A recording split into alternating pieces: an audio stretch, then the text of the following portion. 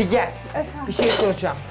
Şimdi buzdolabını mı alayım yoksa ki alttaki dolaplardan mı alıp sileyim? Buzdolabı. Buzdolabı mı diyorsun? Aha, buzdolabı. Peki. Buzdolabı dedim. Üç haftadır buzdolabı siliyorum. Allah beni nasıl biliyorsa öyle yapsın. Mutfak dolaplarının içi e, dışı yağlıydı, içlerde yağ yoktu. Bir de çok fazla eşyası yoktu. Figen Hanım kendine güveniyorsa, temizlikten anlıyorsa o mutfağı dört dörtlük yapar çıkar.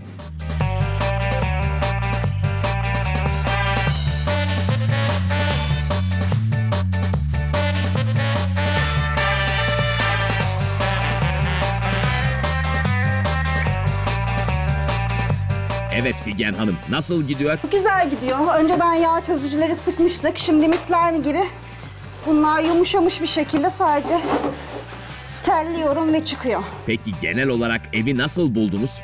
Ya bütün ev fare pisliği var. Bir de toz, pislik, kalıplaşmış pislikler var. Temizlikte biraz detaycı mısınız siz? Temizim. Apartman merdivenlerine kadar temizlik yapmıyorum diyebilirim. Ama siz şimdi sitedesiniz ya o yüzdendir. Yo değilim apartmanda. Ama sen apartmanda kendi kapının önünü silmiyor musun mesela? Yo silmiyorum. Aa, e kız oradaki pislik içeri geliyor. Temizlik, temizliyorlar. Aman onların temizlemesinden ne olur? Paspaslan yalandan vuruyor. Hep köşelerde olduğu gibi zibil var. Sonuçta o kadar para veriyoruz, temizlettiriyoruz. Ben de para veriyorum ama ben pek fazla beğenmiyorum. Yani mesela eşin nasıl e, evde senin ütünü yemeğini çok fazla beğenmiyor, daha iyisini bekliyor ya. Ben de merdivenciden daha iyisini bekliyorum. Bu yüzden de önceden merdivenleri komple ben siliyordum. Şimdi artık silemiyorum. O yüzden silenin peşinden gidiyorum, geziyorum. Yani bu takıntılık mı sence? Takıntı. Takıntı, anlıyorum. Takıntı. Bana hiç takıntı gibi gelmiyor da o yüzden soruyorum. Dışarıdan nasıl göründüğümü merak ediyorum.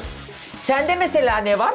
Ya ben 10 sene tek başıma yaşadım İstanbul'da. 10 sene tek başıma yaşayınca evimin bütün işlerini kendim yaptım. Ha. Bir elektrik işlerinde iyi değilim.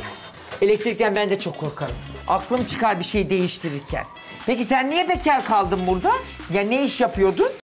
Firmasında çalıştım, üniversite okudum. Ha, Bizimkiler siz eşinle o zaman aynı iş yerinden tanışıyorsunuz. Evet, evet. He, tamam. Meğerse Ee, o zamanlardan beri benden hoşlanıyormuş, beni istiyormuş, ediyormuş, evlenelim, gel edelim, sevgili olalım misali. Ama anlamıyorum tabii.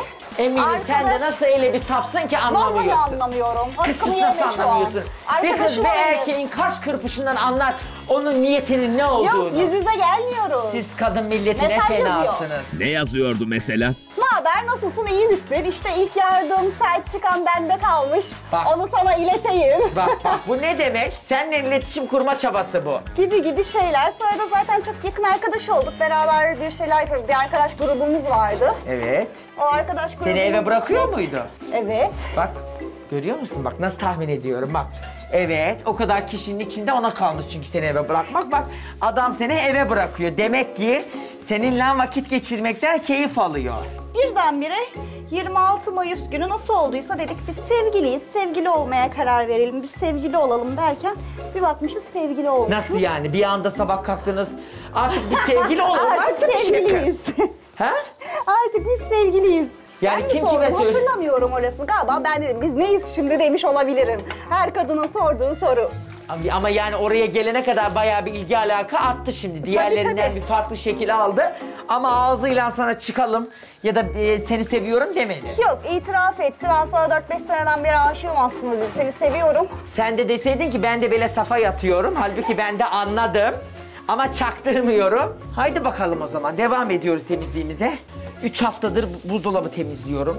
Arkadaşlar sevmiyorum buzdolabı temizlemeyi. Bakın sevmiyorum, nefret ediyorum. Buzdolabı temizlemekten nefret ediyorum.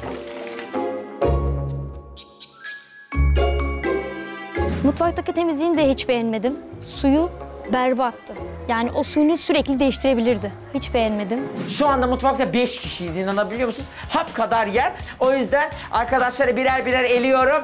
Ve ekranların elemini kederini alan, derdi tasayı atan, temizliği aşkla sevdiren tek program temizlik benim işim. Mutfak temizliğiyle devam ediyor. Birazdan görüşeceğiz. Daha fazla video izlemek için kanalımıza abone olabilir. İlk izleyen olmak isterseniz bildirimleri açabilirsiniz.